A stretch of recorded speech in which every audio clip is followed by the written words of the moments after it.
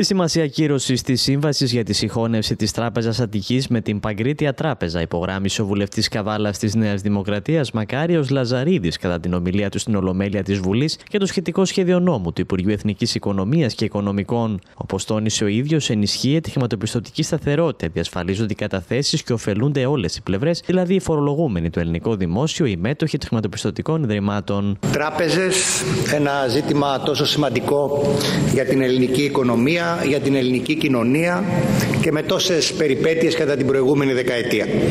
Όταν το τραπεζικό σύστημα διαλύθηκε πλήρως και έφτασε στα πρόθυρα της κατάρρευσης, όταν εξαιτίας αυτοσχέδιων πειραματισμών και ιδεολειπτικών αιμονών κάποιων μαθητευόμενων μάγων τα καταστήματα των χρηματοπιστωτικών ιδρυμάτων έκλεισαν και ενεργοποιήθηκαν τα capital controls οδηγώντας σε απόγνωση τους πολίτες. Ευτυχώς για την πατρίδα μας το 2019 ανέλαβε τη διακυβέρνηση της χώρας η Νέα Δημοκρατία και η κανονικότητα αποκαταστάθηκε μαζί με την οικονομία που ανέκαμψε εντυπωσιακά στην ίδια θετική πορεία βαδίζει πλέον και το τραπεζικό μας σύστημα με κάποιες στρεβλώσεις που οφείλουμε κύριοι Υπουργοί ως κυβέρνηση να επιλύσουμε με όλους τους σχετικούς δείχτες να έχουν βελτιωθεί κατά πολύ και την εμπιστοσύνη να έχει ανακτηθεί στον απόλυτο βαθμό.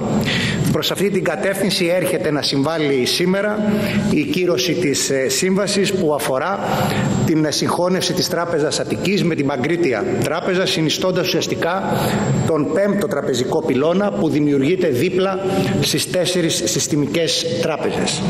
Με τη συγκεκριμένη εξέλιξη ενισχύεται η χρηματοπιστωτική σταθερότητα, διασφαλίζονται οι καταθέσεις και ωφελούνται όλες οι πλευρές, δηλαδή οι φορολογούμενοι, το ελληνικό δημόσιο και οι μέτοχοι των χρηματοπιστωτικών ιδρυμάτων.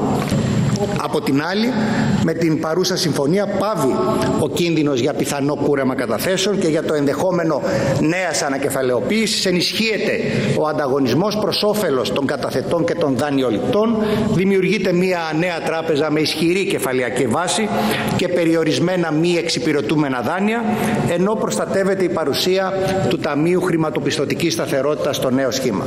Στο πλαίσιο αυτό, ο βουλευτής Καβάλας έθεσε το ερώτημα τι φοβάται η αξιωματική αντιπολίτευση, κάνοντας λόγο επίσης και για ΣΥΡΙΖΑ Bank. Και μιας και ο λόγος ε, στο αμαρτωλό παρελθόν της ε, τράπεζας, εντύπωση προκαλεί το θράσος της αξιωματικής αντιπολίτευσης που δήθεν κόπτεται σήμερα για τη βιωσιμότητά της. Ναι, είναι ο ίδιος ΣΥΡΙΖΑ που όχι μόνο έκλεισε τις τράπεζες αλλά τις κατέστρεψε ταυτόχρονα.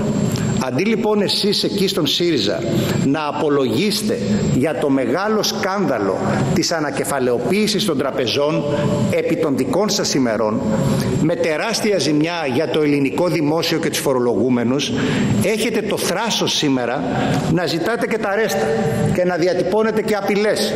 Θυμίζω κυρίες και κύριοι συνάδελφοι ότι στην ανακεφαλαιοποίηση του 2014 οι τράπεζες είχαν αξία 27 δις ευρώ. Και στην ανακεφαλαιοποίηση του 2015 επί ΣΥΡΙΖΑ είχαν καταρρεύσει στο 1 δις το μερίδιο του τούχου σου από αξία 19 δις κατέρευσε σε λιγότερο από 1 δισεκατομμύριο ευρώ. Χασούρα δηλαδή για το τούχου σου 18 δις. Και έχετε σήμερα το θράσος να μιλάτε για το κόστος στο δημόσιο. Ε, εδώ ταιριάζει το εδώς αργή. Και κάτι ακόμα.